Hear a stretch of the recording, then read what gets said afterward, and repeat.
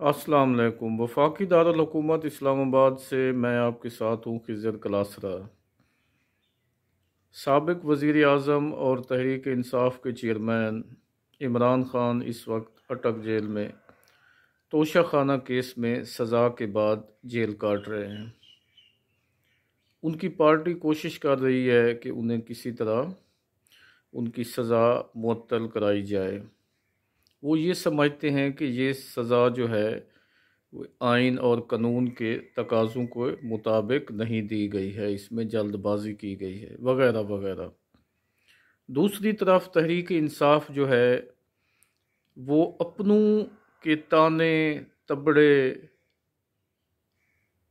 का निशाना बन रही है।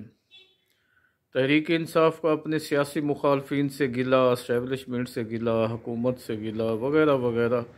अपनी जगह पे। लेकिन तहरीक इंसाफ के अपने ही सीनियर लीडरशिप जो है, वो सबक वज़ी अजम इमरान ख़ान को शदीद तनकीन का निशाना बना रही है। उसमें एक नई पार्टी जो बनी है तहरीक इंसाफ से, तहरीक इंसाफ पार्लियामेंटेरियन, जिसकी सरबराही जो है सबक वज़ी अला बलूचिस्तान परवेज़ खटक साहब कर रहे हैं। उन्होंने मानसेरा के जलसे में एक बड़ी खौफनाक तकरीर की है और वज़ी अजम इमरान ख़ान को जो है शदीद तनकीद का निशाना बनाया है, जो कि बड़े पैमाने पर रिपोर्ट भी हुआ है और उस पर वो भी हुई है।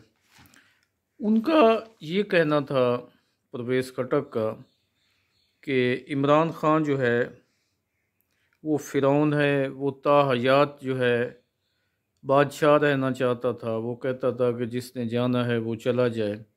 मतलब फ़िरौन के लफ्ज़ उसने इस्तेमाल किए हैं ताहयात बादशाह रहना चाहता था, वगैरह वगैरह, और ये चीज़ मीडिया में रिपोर्ट भी हुई है।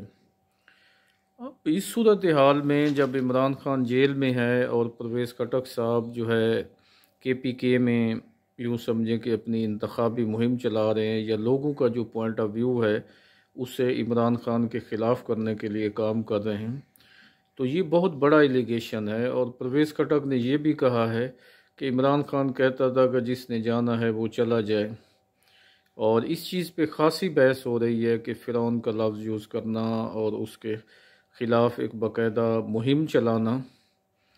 आ, अब ये पार्टी उस वक्त इकट्ठे थे साथ थे इमरान ख़ान की क्या सोच थी, इससे परवेज़ खटक से बेहतर जो है कोई नहीं जान सकता।